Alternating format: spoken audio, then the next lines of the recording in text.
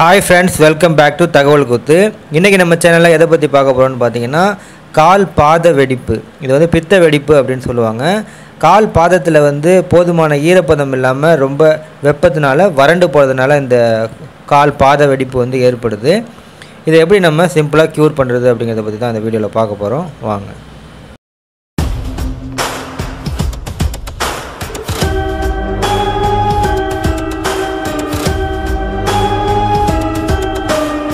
இதுக்கு நமக்கு தேவையானது வந்து நல்ல சுண்ணாம்பு விளக்கெண்ணெய். இது ரெண்டுத்தையுமே நல்லா சேர்த்து மிக்ஸ் பண்ணி எந்த இடத்துல பித்த வெடிப்பு உங்களுக்கு இருக்கோ அந்த இடத்துல நீங்கள் அப்ளை பண்ணிட்டு வந்தாலே உங்களுக்கு சீக்கிரத்தில் அது குணமாயிடும்.